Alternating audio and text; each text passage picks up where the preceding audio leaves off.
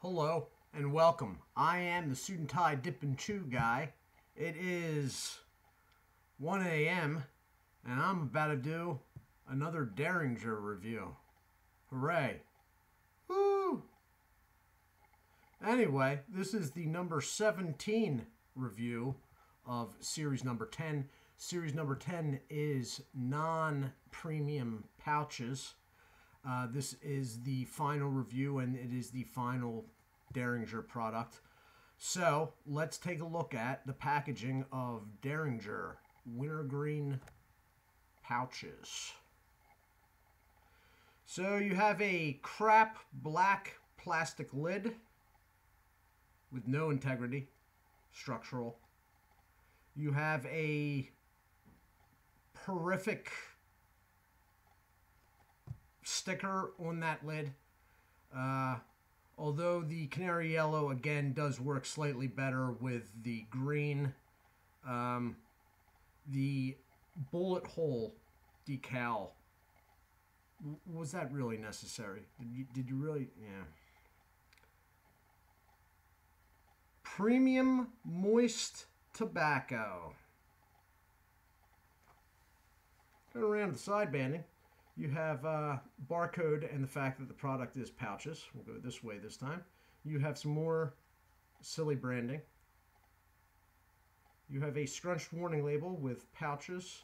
The fact that it is 100% imported tobacco, and the fact that this is a product of the CN Smokeless Tobacco Company of Grover, North Carolina.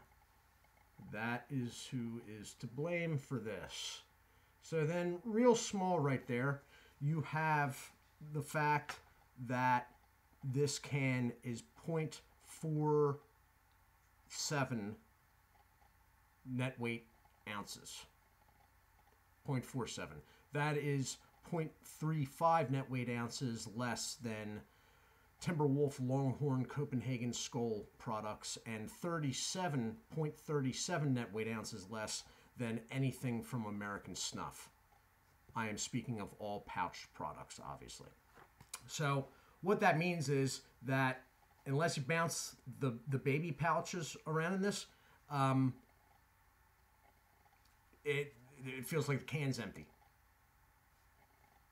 You're like, what's going on? And you bounce those babies. Now, mind you, don't anybody actually bounce real babies. That would not be good for the child's health, number one. And two, would probably land you some serious prison time. These are baby pouches. And you'll see what I mean in a moment. So I'm going to cut into this. I'm really tired, by the way, if you haven't already noticed. So if this uh, review's a little goofy, could be really short too. I don't know.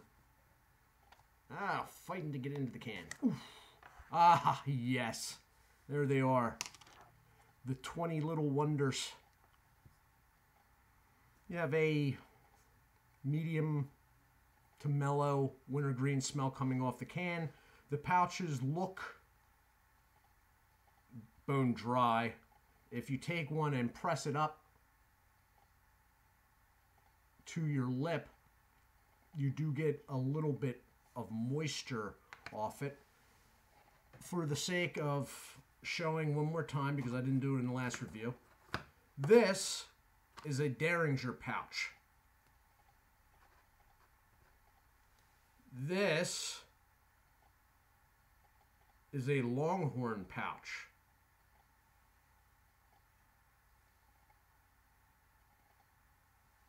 That is why I call them baby pouches. Yeah, I know. Longhorn pouches never look so good, right? Oh, Longhorn. I long for the review review again. So, that's what they're looking like in the can. There's 20 of them but they're so ridiculously small, laughably small, that you have to put four of them in at a time at least. And I take smaller pinches, so like that's only five dips. One, two, three, four. I'm going to hit the pause button and try to pull myself together. Then I'll be back. Probably not pulled together.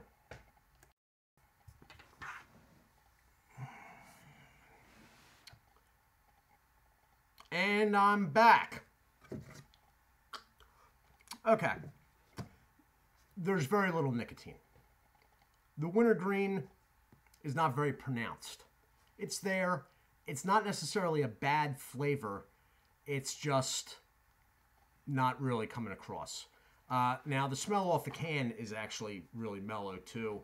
It's even more mellow when it comes to flavor. Uh, there is no burn. Uh, there is a very slight twinge, tingle, zing, but there is no wintergreen burn with this. Nicotine's low.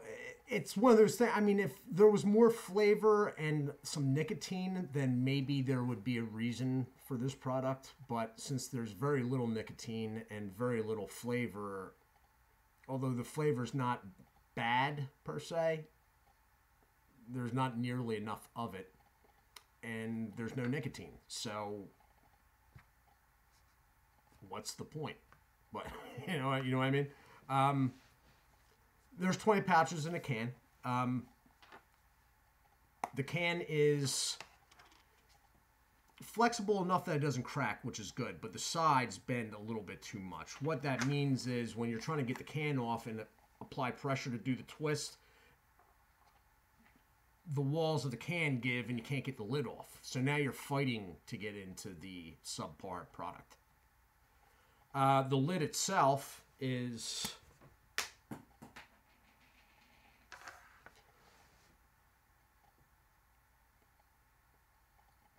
crap. The lid is crap.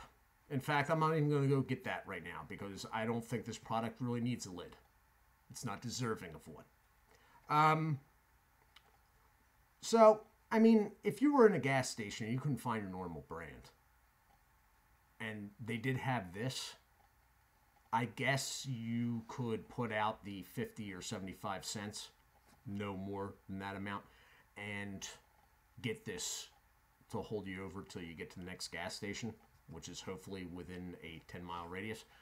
But outside of that, I, I can't really see I, I can't really see a point. I you know, the flavor wise and lack of shadiness puts it the flavor's all right enough and there's nothing shady going on with the product it it does put it above in my mind swisher products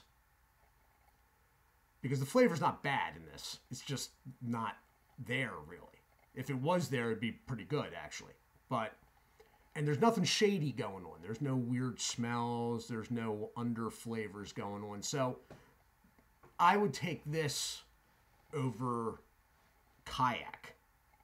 I'd definitely take this over Cooper.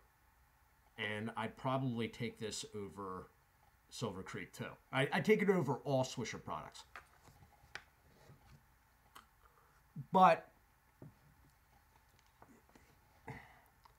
that's not saying much really at the end of the day. Saying that it's better than a Swisher product, I mean, now that I've gone through quite a number of Swisher products, I can tell you saying that something's better than a Swisher product doesn't really mean much. Okay? I, you know, rolling up this piece of paper into a little ball and putting it in my cheek would be better than a Swisher product. So, you know, it's sort of an empty alkaloid, I guess. I don't know. Anyway, I'm really tired, as I said. Um, so, yeah, I mean, if you need something and this is the only thing, better yet, if you can find another like 50 cents and get a Longhorn.